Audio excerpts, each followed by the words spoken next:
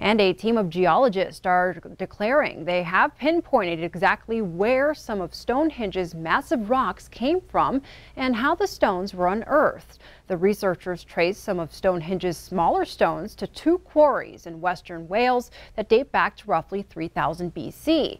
They also found evidence of prehistoric tools and digging activity in the quarries. That, they say, is rock solid evidence that humans moved the stones a full 150 miles to Stonehenge.